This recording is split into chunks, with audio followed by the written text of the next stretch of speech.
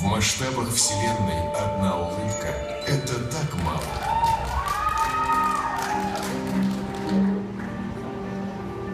Но что может быть важнее улыбки ребенка? И как помочь тем, кто разучился улыбаться? Как сделать счастливыми детей, от которых отвернулись самые близкие?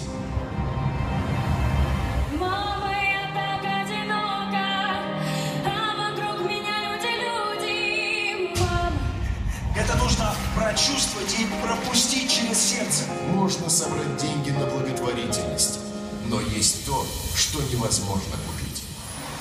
Огни новогодней елки.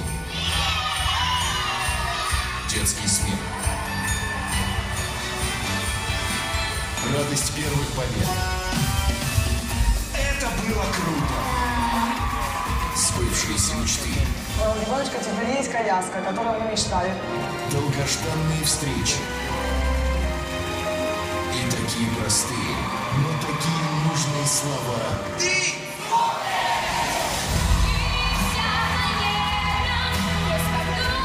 которые дают возможность поверить в себя. с такой поддержкой у меня получится все. Взрослые привыкли оперировать цифрами, но главное не цифры, а то, что за ними стоит. Надежда, подаренная тем, кто отчаялся. Каждый день Настя мечтала снова начать ходить. И благодаря зрителям НТВ ее мечта сбылась. У меня хоть есть протез, это уже прям вот такой подарок. Дружба, которая уже навсегда. Дед Мороз, он хоть и мороз, но у него сердце огромное, его хватает на всех. Это так важно, когда рядом друзья, Солнышко такое, я не могу. которые будут радоваться твоим успехам, Ты можешь плакать от счастья, потому что ты зацепил всех.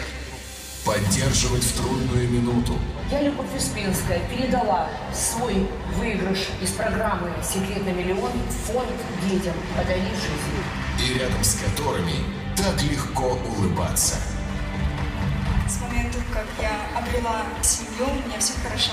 То есть теперь у вас 9 детей? 11. 11?